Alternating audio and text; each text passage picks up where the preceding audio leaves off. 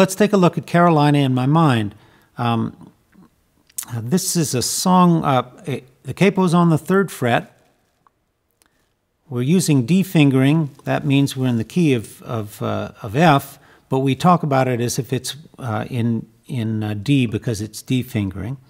Um, my D is that typical sort of backwards D that I play so that my index finger is playing the third and can hammer on and hammer off.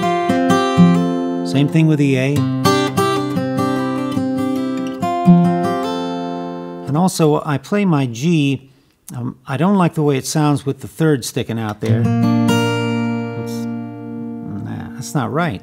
So I, I bridge the, uh, the uh, E string and the B string with, with my, my uh, ring finger. Gives you a more modal sounding chord there. Okay.